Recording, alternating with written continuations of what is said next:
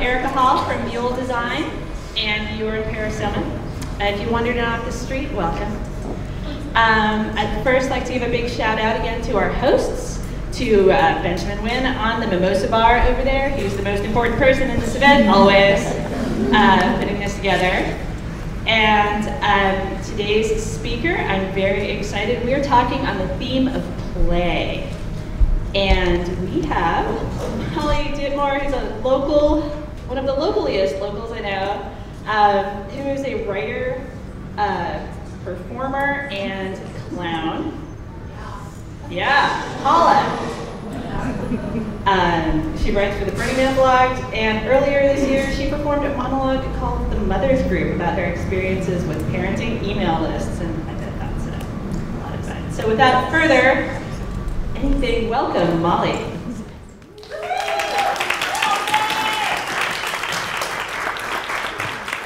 Thank you, Erica. Good morning. I've got my Madonna microphone on. Can everybody hear me?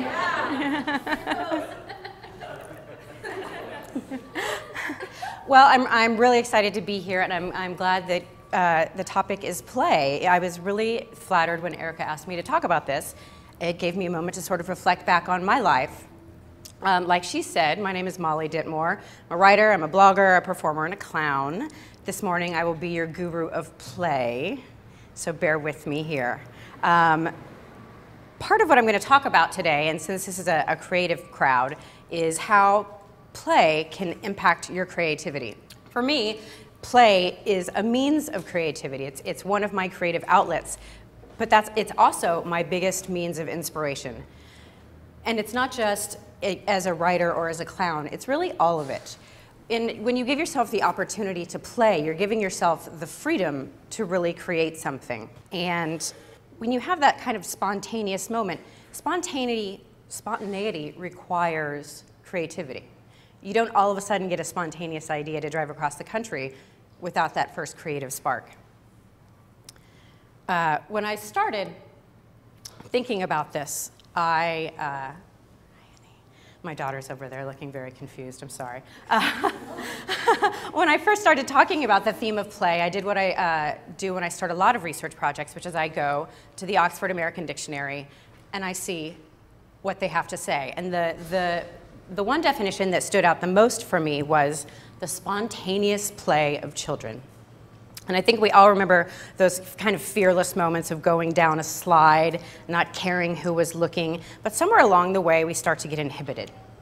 And I think when we get inhibited, we lose this giant sense of play. But we still have to be able to let ourselves go. And learning how to play, again, is learning how to let go. And you can't have this sort of spontaneity without creativity. It's the spontaneity, the creativity that leads to this kind of what Oprah, who also wears a microphone like this, would call her aha moment. Being spontaneous and being brave enough to be spontaneous is what leads to the great idea. So we're going to give ourselves the right to play. But what does that really mean? It means we're giving ourselves the right to freely create. You can create as much as you want. You don't have to create one perfect thing. When you create, just keep creating. Like no one ever wrote one book and it was the best book. No one ever did one painting and it was the best painting.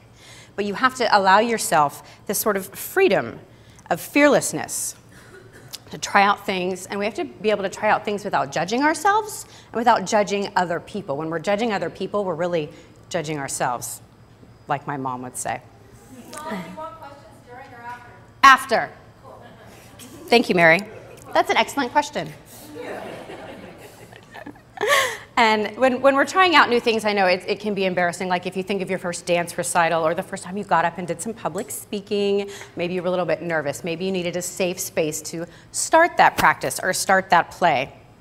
And I think that this sense of play and having a safe space to do it is why things like SantaCon are so popular. It's, or the Valentine's Day pillow fight that they do downtown. It's adult play, but it's, it's in a safe place and we're all doing it together. No one's gonna judge you for being a drunk falling down Santa because we're all drunk falling down Santas. Or, or the, the, the kind of fun high that you get from smacking a stranger over the head with a pillow right before they smack you over the head with a pillow. But I also think that this, this concept of having a safe place to create and a safe place to express yourself is why Burning Man is so popular. And I know it's a divisive issue. I know people either love it or hate it. But my creative roots really have a lot, have a lot of deep, deep, deep roots in that desert. And I'll tell you why. When I moved to San Francisco, I was 22 years old, and I was very much a creative, disaffected Gen X college student. I think at some point I took it upon myself to be so cool that I had started to shun a lot of joy. And didn't mean I was an unhappy person. What it meant was I didn't want to look uncool. And when I moved to San Francisco, I started working in the very infant, infant days of the internet industry. And I worked at a creative shop, not unlike, you know, I don't want to compare it to Mule, but 15, 16, 17 years ago, that's basically what it was. We were called a web boutique, and we made websites for big companies.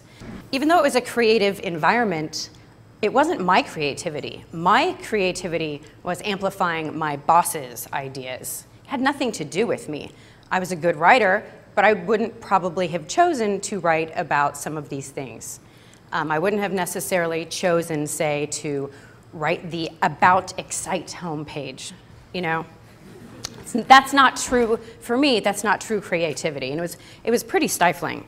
Um, so when I got to Burning Man, I felt free. And I know a lot of people say that and they talk about, oh, it changed my life. It really did. It really did change my life. It made me open to other people. It made me see people in a totally different light because everyone's the same. Everyone is the same there. You're not asking, what do you do for a living? Where do you live? You ask Burning Man someone where they live and they say, oh, I'm camped at 230 and G. You know, their first you know, reply isn't always, I'm from San Francisco. So it's, it's an autonomous zone, it's a free zone. And I think that's why so many people have taken to it. That said, I don't care if you ever go to Burning Man. There are too many people at Burning Man. But if you want to go, you should go. um, it also, Burning Man gives people this, this deep sense of play, which is very important. It is all about improvisation. You don't know if you're going to have the most fantastic conversation of your life with a drag queen in line for a porta potty. I had one of those conversations. You also don't know if you're going to find yourself at sunrise on a seesaw with a total stranger. Um, Bruce Sterling, the sci-fi writer, um, wrote a Wired magazine article about Burning Man years ago, and he called it the Great American Holiday, which I think is really the way to look at it. It's a time to celebrate creativity and freedom, and I think that's what it's given a lot of San Francisco, especially people in the creative community. But back to improvisation. I think that improvisation, spontaneity, and the, free, the freedom that you feel to create is totally important. I was watching a documentary on uh, Charlie Parker, he died very young, and one of the things the other musicians were saying is that you're playing in the moment. There's this freedom that comes with playing off the drummer, playing off the trumpet, playing off the bass player, and trusting yourself in that moment to play along. And I realize that I'm not necessarily talking about playing music, but I think it's really the same spirit that you can be free and trust yourself, and that there is this freedom in trusting yourself in the moment to just keep creating. And speaking of freedom, I know this is why some of you came to hear me talk, because you love clowns. Is anybody here coulrophobic? The fear of clowns? Anyone? No, all right, great. Sometimes people say yes and I don't believe them. I think they just, you know, it's a little skeevy. There's a lot of freedom in putting on a clown face. It's a mask. People can't really tell who you are. I've had some people in this room who've not recognized me who've known me for years when I'm dressed as a clown. My clown name is Couture. I'm a high fashion snob clown. And I don't know if you can really see the light's a little weird, but part of Couture's face is that she has one raised, disdainful eyebrow. I don't even have to talk, and I'm conveying a message as a clown. I can sit there and be quiet and watch, or I can sort of be shot out of a cannon. It works both ways. But my personality as a clown is definitely what is on the inside. Even though you can't really see my face here, that face is drawn from exactly what is on the inside. Clowns wear the inside on the outside, and I think that's maybe what makes people a little bit uncomfortable. Um, another thing I do as a clown is, and my husband says I like to make people uncomfortable, and I think he's right, uh, but I like to take up a lot of space. I like to wear a big wig or a big skirt or a big nose or something because women in our society aren't supposed to take up a lot of room. I think that's something that has stifled a lot of women's creativity. We don't want to get in the way or we don't want to make too much of a, we don't want to rock the boat too much or we frankly are just supposed to be these tiny thin little nymphs. And part of couture stick is that she's big, she's brash, and she's not going to take it anymore.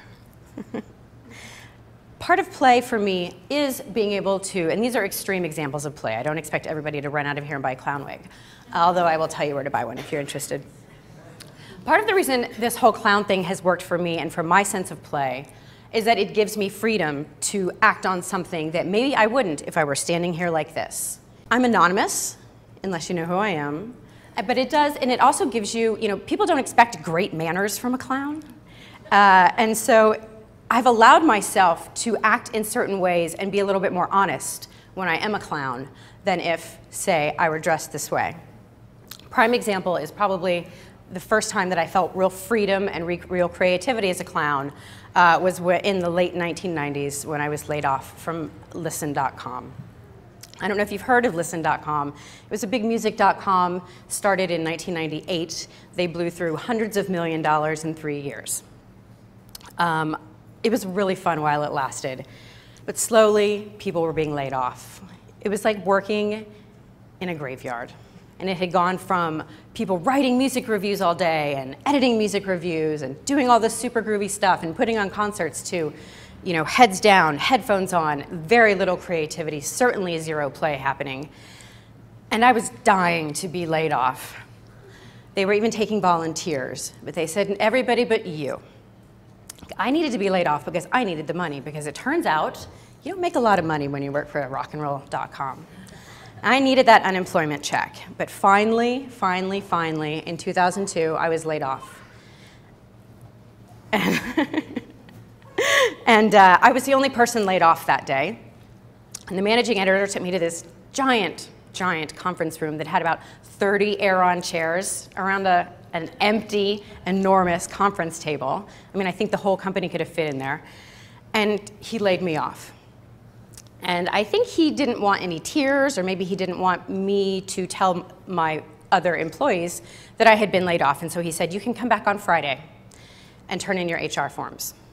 Clean off your desk. And I thought, Well, good. I can't take three years of you know, rock and roll memorabilia home on my bike but it was really unsatisfying. I'd been in this sort of dead work environment for years, and I was like, well, where's the epiphany? Where's this great sense of freedom that I'm supposed to get from not having to work here anymore? By the time I got home, I'd hatched a plan. That Friday, I picked up my best friend from the BART station, and we dressed up as clowns, and we went back to clean out my desk and make sure my HR forms were all in order. I was wearing a Day-Glo cheerleader skirt with a thong, not very appropriate work attire, a wig, really basic clown face. I wasn't quite that advanced yet. And my friend had, uh, when I picked her up from BART, she emerged carrying basically a bouquet of those really long, thin balloons that, you know, you go to the circus and they bend like an elephant or something. The woman is fearless. She had blown up these balloons on BART, dressed fully as a clown, alone. She said that by the time she got to the Montgomery BART station, there was no one on her BART car. she came up from the escalator holding this giant bouquet and wearing just the most terrifying clown face I'd ever seen. And I was like, it's on. It is on. This is that feeling that I wanted. And so we finally get to my old office place, and as, I, as we walk in, no one made eye contact. They were trying to act like we weren't there, which, you know.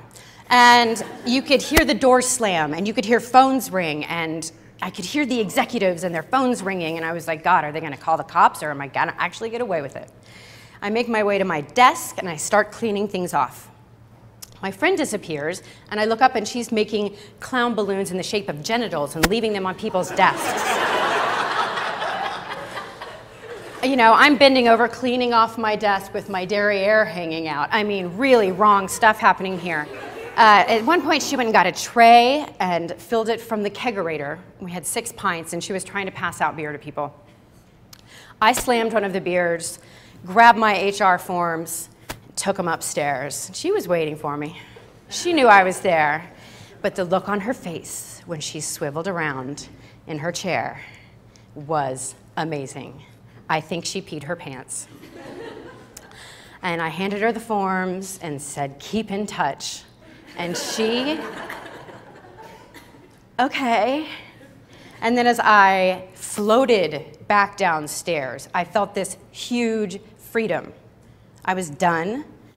But I also kind of realized who I was. I was, I was someone who wasn't going to take this kind of crappy job shit anymore. Do you know what I mean? I didn't have to ever put myself in that position ever again. And it was my way of kind of taking back my power. And that was really when I started seriously becoming a clown and thinking back on play again and again and how to keep a creative life and how to keep that sort of feeling going. Unfortunately, I should have said there were no pictures of that day. There were not really digital cameras back then, and, and it haunts my husband to this day that I have no, no actual proof. Another thing that's part of play is something that my dear friend Summer Burkes, you should follow her on Twitter, uh, called irritainment. And irritainment is sort of like entertainment, but it's not meant for everyone to enjoy. It's meant for me to enjoy playing my kazoo, or me to enjoy giving a child a drum. Or like that, that guy in the mission who rides around on his bike with the giant speakers in the trailer behind it playing disco all the time, that is irritainment. But he's feeling it, you know? He is being free. He's not letting anybody impinge on his experience, and I dig that. I do think that sometimes you do have to be a little bit more mannered, but you know, I'm talking about being a clown today, so we're not talking a lot about manners. But I think that it's, it's important also to not worry about annoying other people. It's, it's, it's not, you, you don't have to do everything for everyone else. So if it's, you know, putting a whoopee cushion under somebody, which is a favorite trick of mine, or, or riding around the mission playing, you know, blaring Donna Summer, do it. You're feeling the dream. And I understand, like I said, that these are really, really big examples, um, but you do have to be open to other people. You can turn off a lot of people, and you will, but I think you'll be surprised who plays back. Whenever I'm dressed as a clown, I'm always surprised who will interact with me. Some people, you know, like I said, like when I went to my old office, just pretended like there was no clown in the room. You know, and some people are just like, and or some people start screaming, I'm afraid of clowns. I'm like, eh, no, you're not. You just don't want anybody else to get the attention. What you have to always what you have to be open to is who's going to play with you. I was watching this uh, interview with the author Jeffrey Eugenides, and he was talking about how he didn't ever want his book to be, and he changed his mind because he wanted to make money. He never wanted his book to be in the Oprah Book Club because he thought that those readers were beneath his work. What a bunch of crap. Never, ever underestimate what other people can do because those are the people you're going to need to believe in you you can't do this all on your own. I mean, why, why create an album for the two coolest people in the world to hear? Or why create a website that you don't actually want people to use because, you know, you don't want them bringing you down? And as a clown, I've noticed the thing, the people who interact with me, who run up to me, are the straightest. they are old white men in khakis. They are, uh, you know, guys in Detroit sports jackets they're not the people who I would have said, you're my person and you're my person and you're my person, because I don't really know who my people are. They have to come to me. And it's surprising and you have to be open. And I think that's part of being fearless when you're being creative is don't, it, don't, don't prejudge yourself and don't judge other people. Now, back to clowns. uh, that's me there, if you can't tell.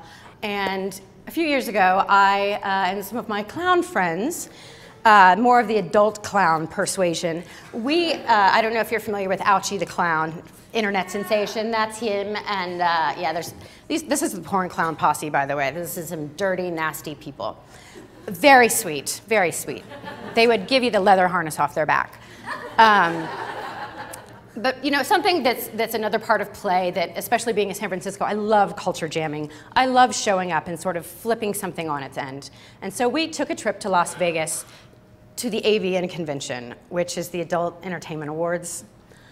It's a giant porn convention in a giant airplane hangar style las vegas conference center. And it is the least sexy thing i have ever seen. I mean these people could be selling vacuum cleaners but they're selling you know toys and porn. And one of the things that was so weird was that, I mean, there's two kind of schoolgirl, porny girls here, but those people weren't interested in interacting with us at all. And we thought, oh, we're gonna, we're gonna jam them. No, it was the other people who were interested in us. One of Couture's favorite, favorite clown shticks is I carry a big roll of white paper with me. And when things get a little slow or there's room, I roll it out and a la Zoolander, I have a walk off. And I go down the runway first as the fashion clown, and then, you know, some other clowns will take a turn, and then we start to bring other people in. The porn stars were not having it. The horny guys who were there to get their photos taken loved us. And I would not have thought that to be the case beforehand. I thought that's who we were going to be clowning. But in fact, it was the porn people who were really uptight. So my judgment changed. I thought I knew my audience, but I didn't. And speaking of knowing your audience, embarrassment. You have to be able to be embarrassed. And I know I said earlier to be fearless, but I mean, it's hilarious when you mess up. And if you can roll with it and keep playing, it's actually going to get better and better and better. This is a still from the monologue I did earlier this year that Erica mentioned. I had a, a, really rough start to motherhood. I mean, it was great, but you know, things don't always work out the way you plan. I was tired, you know, all of these, all of these things, and so I, I sought answers in online mothers groups, which was a terrible idea, and um, because they're all as frantic as you are, and getting advice from frantic people is a terrible idea. And I got kind of addicted to them because their problems were weirder than my mothering problems. And so they, they sort of made me feel like I was not so crazy. And I started collecting some of the crazier emails and eventually turned them into a monologue. Now, I think my favorite part of the monologue is when I talk about a woman who emailed this mother's group anonymously and was asking for help on how to stop her one year old daughter from masturbating in a high chair. I almost didn't include it in my monologue. It got the biggest laugh, and it also made me realize how ridiculous absolutely everything is. Anything embarrassing can happen to you, and it's always going to be out of your control. I mean, I don't know what I would do if Shorty over there started doing that, but you know, the other day she was screaming about having boogers. So it's, it's, you know, embarrassment isn't something you can stop, but it's something you can run with once it happens. Now, earlier, Jackson, who's here, said, How do I keep play going? How do I keep my sense of play going? And I realized that being a clown or writing a monologue isn't like everyday creative stuff. It can be, and it has definitely fed my sense of creativity long, long, long, long, long, long time. But I think my favorite quote from my favorite movie is this is Boogie Nights, and Don Cheadle is playing Buck, the cowboy, and they're talking at this party, and he's saying, I just don't know who I am anymore. Nobody wants to see a black cowboy. And then he says, You know what, man? Wear what you dig. And I think that is such a great reminder just to be who you are and to just wear what you dig.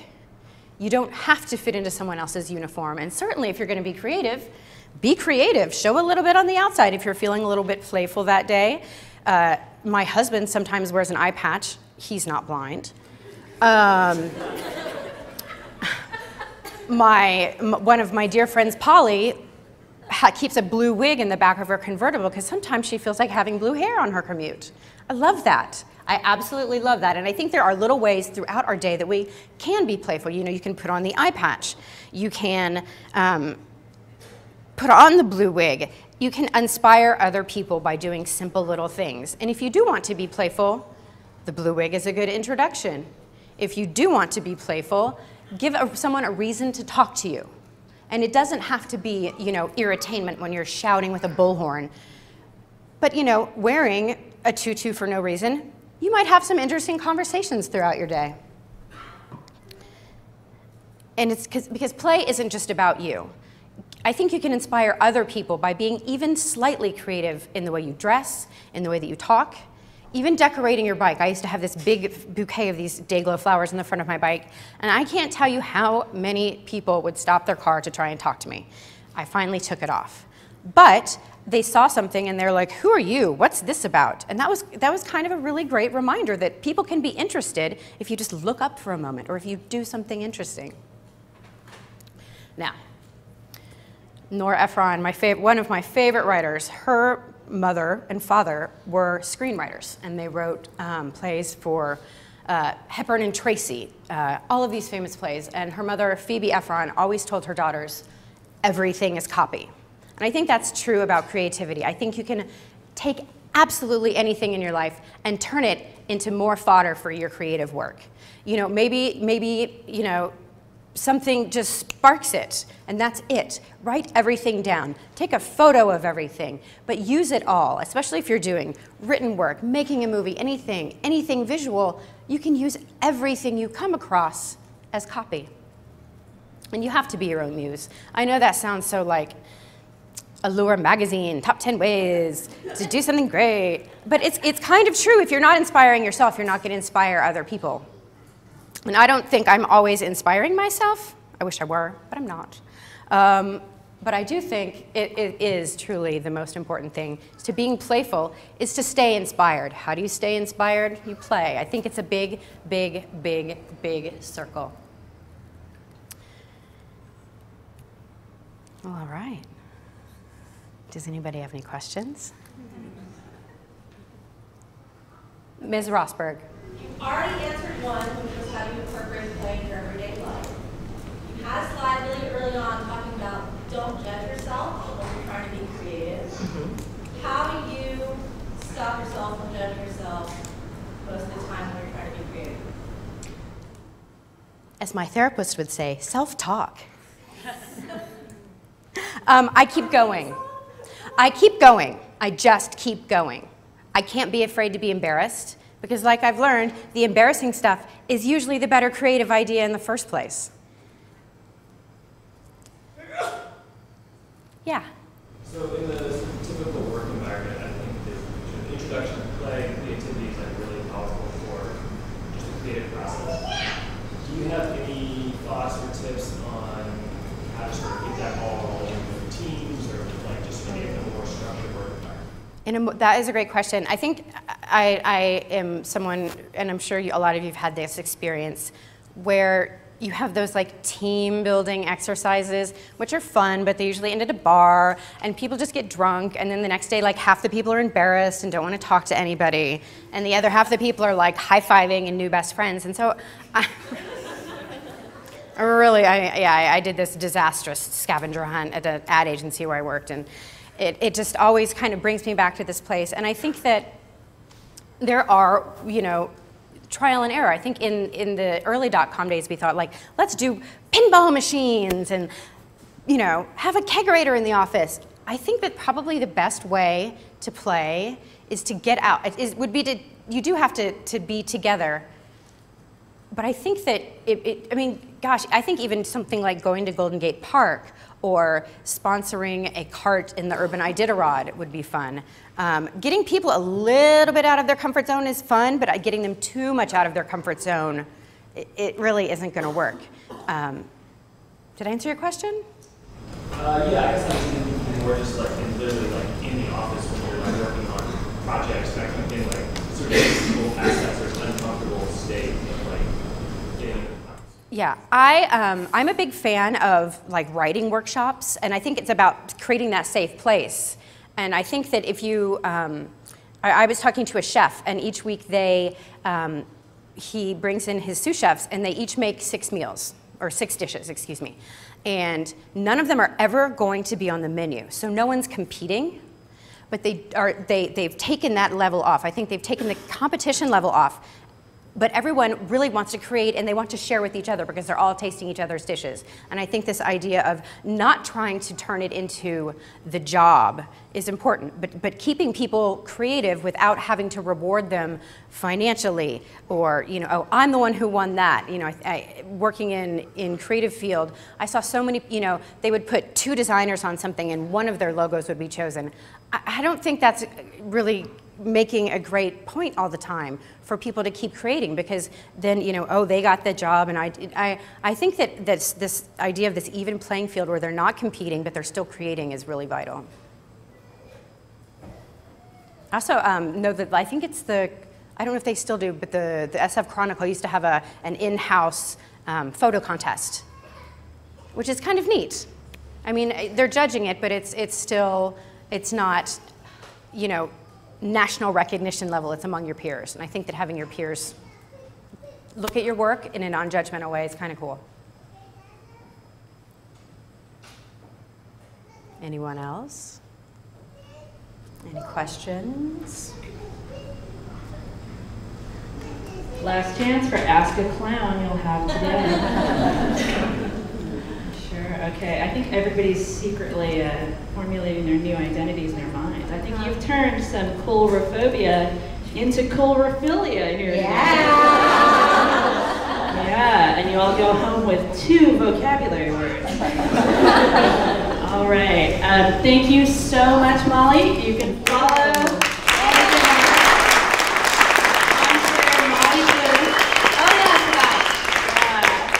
At Molly Bloom. At Molly Bloom, you'll probably be getting a lot of DMs about where to get the proper proboscis. Yeah. Krylon right over there on 7th Street has it all. Excellent.